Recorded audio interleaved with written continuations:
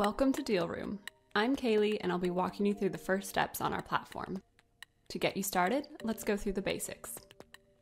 Once you've successfully created your account and set up your password, you want to configure your account settings.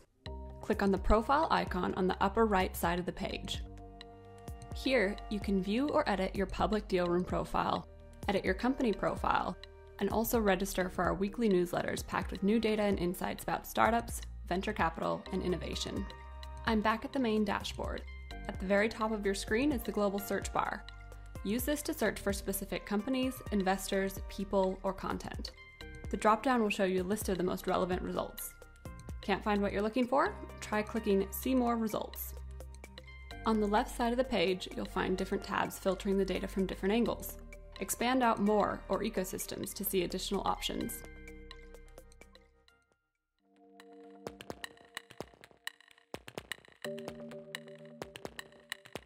Let's have a look at startups and scale ups. The quickest way to begin filtering data in Dealroom is by typing directly into the filter bar.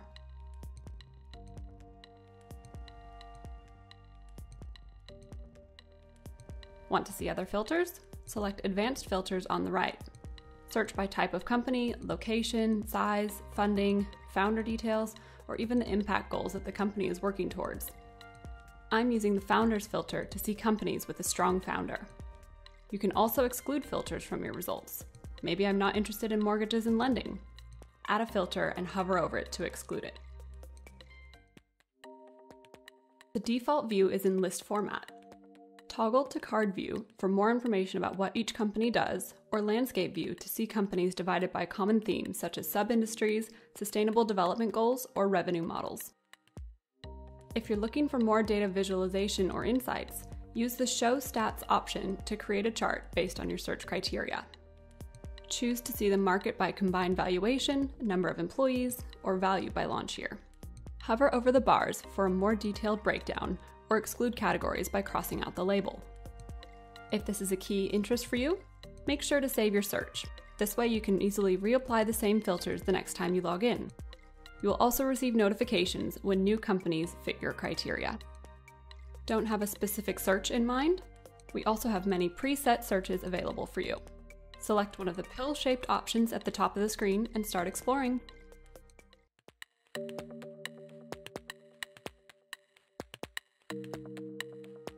We are constantly improving and developing our platform. We usually add new features every two weeks.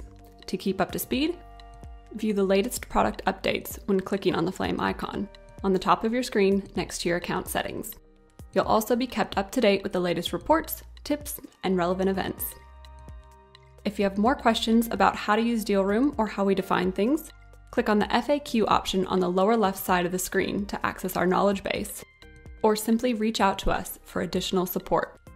Open a chat with the icon on the lower right side of the screen to speak with an expert.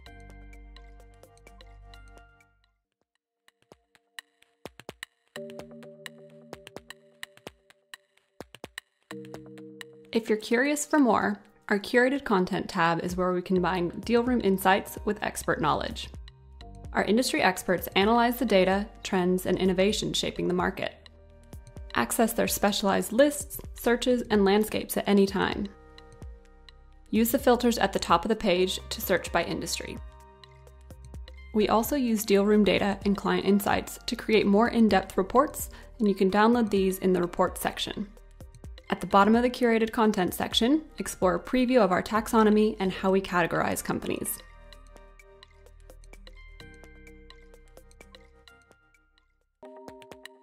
This was a first introduction to the Dealroom platform. There are still countless other features you can use to grow your pipeline, uncover investment trends, and better understand tech ecosystems around the globe. Thanks for listening.